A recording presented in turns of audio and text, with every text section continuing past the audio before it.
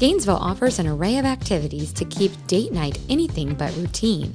Whether you prefer to take date night outside or if indoor activities are more your vibe, be sure to check out the unique spots Gainesville has to offer. One of the biggest ingredients to a successful date night is a delicious meal. Celebration Pointe, located at the intersection of I 75 and Archer Road, offers over a dozen restaurant outlets sure to satisfy diverse food cravings.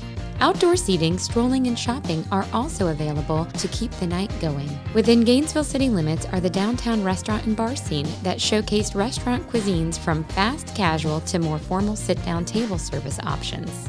Another ingredient in the making of a memorable date night is a sunset view. Lake Alice, located on the University of Florida campus, is a popular picnic destination.